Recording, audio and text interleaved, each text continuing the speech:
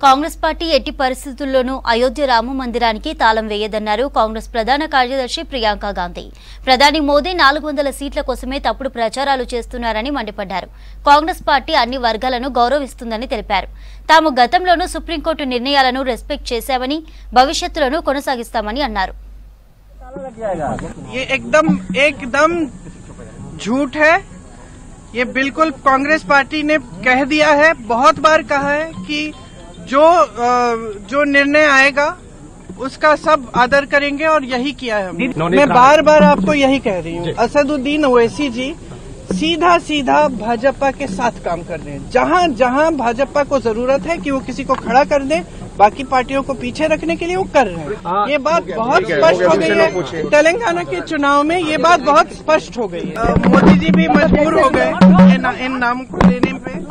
और जो उन्होंने कहा है कि, जो उन्होंने कहा है कि राहुल जी ने नाम लेना बंद किया, ये भी एकदम गलत है। रोज रोज तो राहुल जी नाम ले रहे हैं रोज रोज बात कर रहे हैं इसके बारे में।